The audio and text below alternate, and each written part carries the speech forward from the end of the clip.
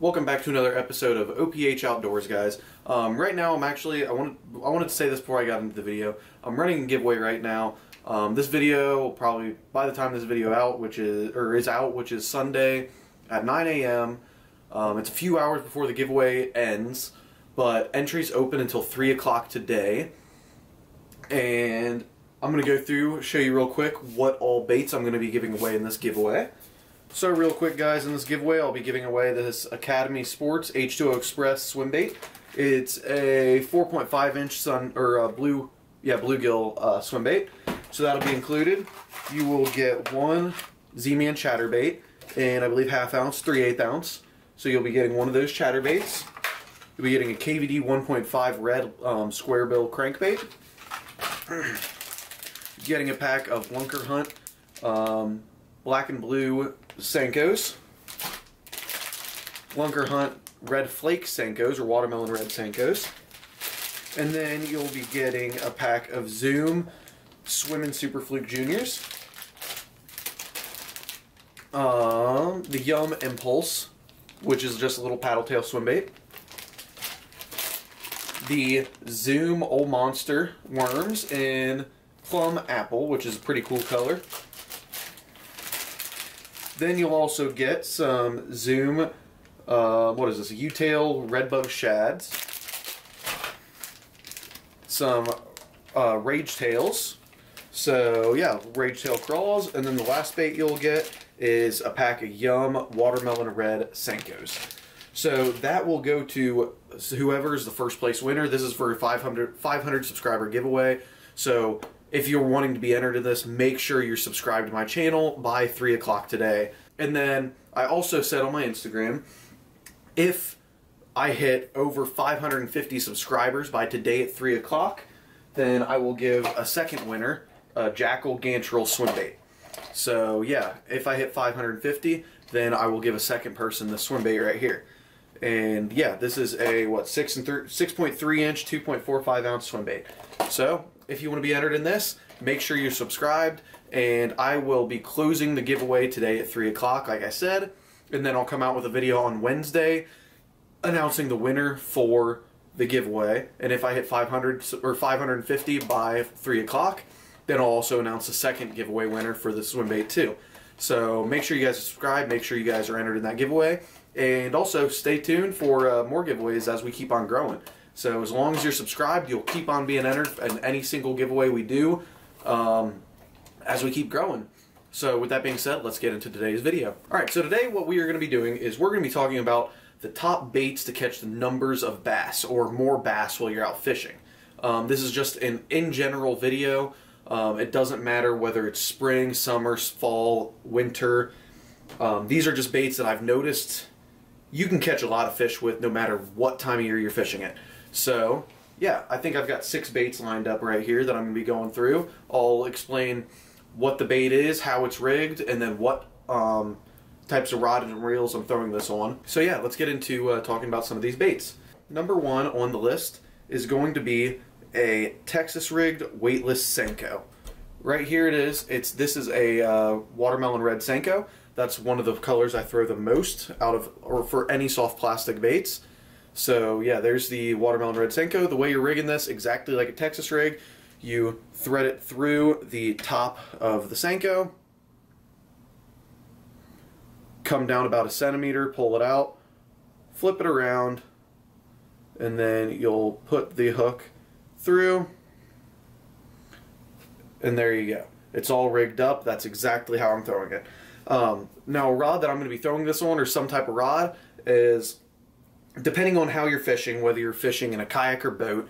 Um, kayak, shorter rod, boat, longer rod, um, but anywhere between a seven foot to seven and a half foot spinning rod, um, medium fast action with a 2500 series reel or a 3000 series reel on it. That's gonna how that's gonna be how I'm throwing this, and I'm gonna be throwing this on 15 pound braid to tied to a six foot leader of probably with this about an eight um, an eight pound uh, leader of fluorocarbon on it. So yeah, there is the first bait that we're going to be talking or that we talked about, and the different types of rods and reels that I throw this bait with. So let's move into the next bait. So the next bait we're going to be talking about is a drop shot. Um, now, the reason why I think this is works so well any time of the year is you can really you can really change the way you fish it, and you can change the types of waters you're fishing it in a lot. So it is a very versatile bait, and you can change the depth you're fishing in and everything. You can change the leader. So yeah, um, I have been fishing this in pretty shallow water, so that's why I have about eh, maybe a foot leader on it, maybe a little bit less. But I throw this right now. I forget which hook this is that I have on here. Uh, most of the time, I'm throwing this on really any type of drop shot hook. Um, I'm not really too worried about the size of the hooks with drop shots. Um, I don't throw it a whole lot, but it does produce very good numbers of fish whenever I'm throwing it. Um, you can change up the length that you're going to be wanting to fish this leader at. You can change it from six inches. You can go all the way up to two, three foot, really however you want to do it. So that's a really good bait or way to throw it. I throw this with um, right here. I believe this is a Dream Shot, a Strike King Dream Shot. I also throw this a lot with Robo Worm, um, Finesse um, drop shot baits. I throw it with the Z-Man drop shot baits, the Dream Shot, or what is that one? The Finesse shots or something like that. Um, I also throw this with sometimes with a Googan Dragon Drop on it. Um, there's a lot of any any type of finesse bait about four inches long works really good for drop shots. Now for this, I'm throwing it on a Dobyns Sierra series. This is a 702, yeah, 702 spinning rod. Now on this rod, I've got a Shimano Sahara 2500 size reel. It is 15 pound braid to, I believe, 6 pound leader on here. It's either 6 or 7 pound um, FC Super Sniper leader on here. I'm not positive which one. So yeah, that's exactly how I throw a drop shot, or like the setup I throw a drop shot on most of the time. Um, now this can be pretty much thrown on any around seven, like last one, seven to seven and a half foot rod that is a medium light power um, rod, fast action. That's what I prefer to throw it on. I know some people like a little bit of a heavier rod for it, but that's what I prefer it on. Now this is a drop shot um, set up for under like 40 foot of water, maybe even under 50 foot of water. If I'm fishing more than that, I would go up to a medium power rod because you're fishing deeper and you're going to have to be pulling those fish up from deeper water, which takes more drag. So you don't want to have as light of a rod for something like that. You want to have something that can pull them up a little bit better. So yeah, there's number two bait on the list, and let's move on to the next. The next bait on this list is the Wacky Rig or Neko Rig. Um, either one works really good. You can produce good fish in shallow water and sometimes deeper water if you have a weighted Wacky Rig hook, um, but preferably shallow up in some type of like uh, cattails or grass, around grass, something like that. So, yeah, I throw this a lot of the time with just a Senko on this. I'll rig this up by, I'll get the Senko, pinch it in half, and then I will just take my wacky hook, thread it right through the center, and there you go. Now, the only difference between my Neko rig and my wacky rig is when I'm throwing a wacky rig, most of the time I'm throwing a weighted wacky hook, um, a very light one. So I like throwing weighted ones. I don't th like throwing weightless too often. There is perks of throwing weightless, especially in grassy situations so you can just throw it right on top of the grass. But I prefer most of the time a weight or a weighted wacky hook. Now for the Neko rig, you'll have something exactly like the um, wacky rig, except the only difference is you'll take a little weight. Um, you can either put a wacky weight or a Neko weight in it, or what I do is I go to uh, Walmart and you can get little nails and just slip the nail right into the tip of the um, Senko. And then the only difference of the wacky um, to the Neko is a wacky when you pull it. It's going to curl up and then come back straight. It's going to curl up, come back straight every time you pull it. Um, with the whack or with the Neko rig, you're going to have that weight in the front. So it's going to be sitting on the bottom of the water like this with the weight. And then when you pull it, it's just going to like just jumble over the bottom or just walk over the bottom because that weight's holding one side of the um, lure down or one side of the plastic down something like this, I would throw it on a seven foot to probably a, this I would stick more of a seven foot um, rod or medium power fast action rod. Um, I would be throwing it with the same thing, a 2500 size reel with 15 pound braid to six to eight pound fluoro. Probably for this, I would throw more of eight pound fluoro on it. So yeah, that's what I'm going to be throwing it on. Let's get on to the next bait. Alright, so I forgot to add this into the video. I went to edit my video and realized I forgot out one of the baits. So we're going to be talking about that bait real quick. I'm just going to throw this in here um, in between one of the others because this is one of them that I wanted to make sure I um, mentioned. But like I said, I forgot to add it in. And the last bait that I use to catch num more numbers of fish are crankbaits. Any type of crankbait um, square bills, mid divers, shallow divers, deep divers, jerk baits, lipless crankbaits, all of those. All of those are really good options for uh, catching more numbers of bass. Now, certain crankbaits I use, I use most Strike King lures. I use Rapala lures. I use Googan baits ones, the Ketchco ones, um, Six Sense um, crankbaits, Lucky Craft crankbaits, and I'm thinking that's probably wraps up most of the um, crankbaits I do use. So yeah, they catch a lot of fish. You can throw them in all different types of waters, and it's a good way to cover ground and find fish, and that's why it catches the most because it's easy to find fish with them. Now, what setups and stuff I use really depends on which crankbaits I'm using.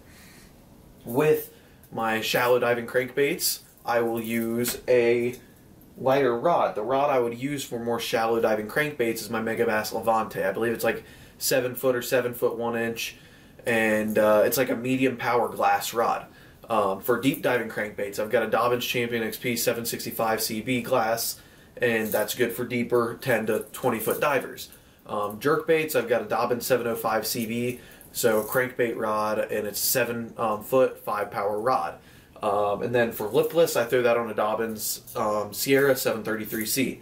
So I'm not going to get into that about like what powers rods or what length rods to throw for crankbaits. Line really depends on the bait too. Anywhere in between 10 and 14 pound line is what I use for crankbaits. So yeah, that's really all I can say about crankbaits. Just because it's a really wide variety of baits. Um, I don't want to go into real deep depth into each one of the baits because that could get a little bit long. So I may make another video on that. I know I've made another video on the Tackle Tip Tuesday on crankbait, so if you're interested in that, make sure to go check that out. I tell you what rods I use for which crankbaits and go through everything about those rods and that technique.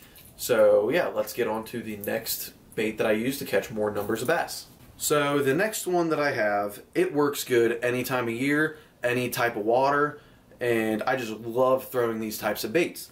And that is a paddle tail swim bait. This right here is, yeah, this is a Strike King Rage Swimmer, and I've got this on a owner flashy swimmer hook. Most of the time when I'm throwing paddle tails, I'm throwing them on flashy swimmers unless I'm throwing an exposed hook swim bait, and then I will be throwing it on uh, something like the Z-Man swim bait heads, and yeah, so I most of the time throw weedless with the flashy swimmer though. So there are multiple types of baits that you can use for this. There are the little dippers, there's the Strike King Rage swimmers, Keitechs, the Googan Saucy swimmers. There's, I mean, there's just tons of baits. As like the one that I'm throw, giving away to, or in the giveaway, there is the Zoom, or the, uh, where is it? The Yum impulse swimmers, which is another bait that you can throw. So there's a ton of different baits you can throw on the back of it. You can throw regular like paddle tail type swim baits. You can throw bigger swim baits um, as long as you have a bigger hook. And there's a lot of ways that you can throw these baits. You can add weight to it. So then if you throw a um, exposed hook swim bait head, that you can throw a like a half ounce swim bait head, and you can get down in deeper water and throw it around structure. And there's just so many ways you can throw this. I'm throwing this on a Dobyns Champion X, or Champion XP 703. So it's a seven foot three power rod, which is a medium power rod, and I'm throwing that with a um, that's a Daiwa BG 2500, and I've got the same thing 25 pound braid or 15 pound braid to 8 pound fluorocarbon leader. Now, since this is a little bit heavier of a bait, I prefer that 8 pound leader instead of 6 because, yeah, since it's heavier bait and I'm going to be throwing it on deeper water too, I just prefer that little bit extra um, poundage in my line, so I don't have to worry about it breaking as if I would throw a six pound. Now, you can throw this on anything from a 7 foot to a 7.5 foot rod. I also have a Dobyns Champion Extreme 743 SF, so a 743 spinning rod, 7 foot 4 inch, um, 3 power, which is a medium spinning rod, that I will also throw this on too. So there's you can throw it on multiple like different a bunch of different types of rods, and yeah. So let's get into the last bait that I'm going to be talking about. Now the last bait I'm going to be talking about is definitely the top on my list for produces the most amount of bass when you're out fishing. Now, a bunch of people think it only catches small fish, but I've found that not to be true. I've caught tons of fish, small and really big fish on this too. So that's why I think it is a great bait too, and it's why it's at the top of the list.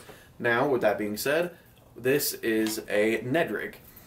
The Ned rig came out. It didn't. It hasn't been out for super long, a few years now, and it really took over the industry. There's a bunch of people throwing it. It is a great bait to throw. It produces a bunch of fish. If you can't catch fish on anything else, you can catch it on a Ned rig. I've different lakes that I fish. If I'm not catching fish, I'll automatically go back to a Ned rig, try to find fish with it or catch fish with it. So yeah. Now I prefer throwing these with either the Z-Man heads or the Z-Man mushroom heads to them. Um, I throw it a lot with the, I believe it's a 1 6th ounce head. You can also throw this with the Venom Lures DK rig hook, which is a EWG type Ned rig hook, and I cannot wait to test it out this year. I've tested it before once or twice, and it worked pretty good. And I throw Ned rigs a lot up near cover, so having an EWG style Ned rig hook that is weedless, so it won't get hung up as often, is going to be amazing. So I can't wait to throw stuff like that.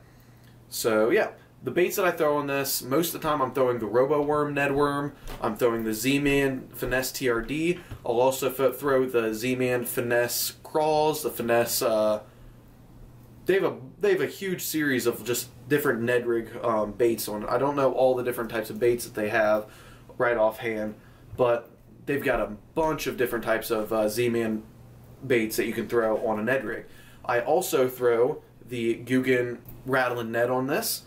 And yeah, that's pretty much the top three baits that I'm going to be throwing on Ned rig. The Googan Rattling Ned, the Z-Man Finesse TRD type baits, and then a Robo Worm um, TRD, or a Robo Worm um, Ned rig worm.